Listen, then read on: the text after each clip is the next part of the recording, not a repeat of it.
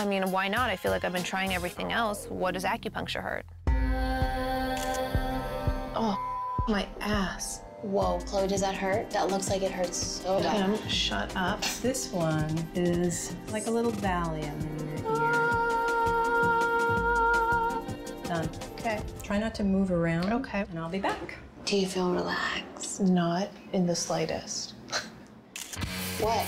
What? Oh Oh my god, What? Bible. I just moved my hand and the entire thing like it was paralyzed.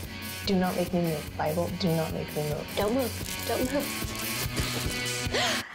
Ow. Ow. I just put it in me so hard. Oh, God punishes in many ways. Ow.